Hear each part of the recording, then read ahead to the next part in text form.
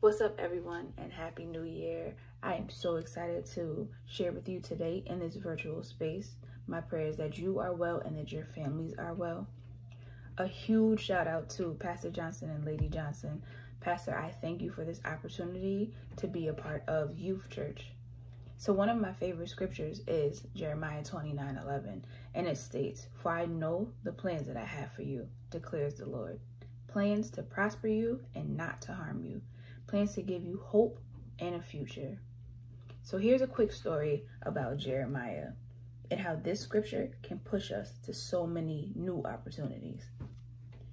Jeremiah was about 17 years old when God called him. He was not given an easy task at all. And although he didn't immediately follow the plan of God, every opportunity that presented itself led him to the purpose. Jeremiah did, naturally, like all of us, obey God's word and shared the message of judgment to the people, even though it wasn't accepted or welcomed. Life can be so tough, but God promises that we can trust His methods, His plans, and His will. How many of us had plans for 2020 and then got thrown off because of COVID 19?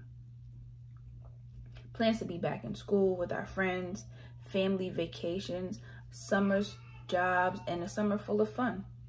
And just like that, everything closed. No traveling, which means no vacations.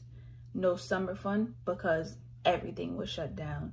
And then no physical school. So here we are on Zoom every day. I had plans too of where I wanted to take the twins for their first vacation, how I wanted to decorate my classroom, when we first got back. So when I read this scripture, I wondered how in the world is God's plan prospering? When we can't go anywhere, we can't do anything, and no one seems to have an answer for COVID 19. Pretty much, we were cut off from outside. Then I kept thinking, how dope is it though that God is still making things happen? Even if it seems a little slow, that in so many ways we grew last year. We got closer to family members, siblings, to friends over FaceTime and video chats. We learned how to cook. We passed some classes that we were struggling with, started a journal. I even downloaded TikTok. All of these things can help us in the end. When the new opportunities meet the new beginnings and it lines up with God's plan, I'm sure we know because the scripture states it that He'll prosper it. So start a journal, read an extra book, learn a different language, find some new sports, pick up some new hobbies. All of these things will help you in the end. Never forget that new opportunities begin with you.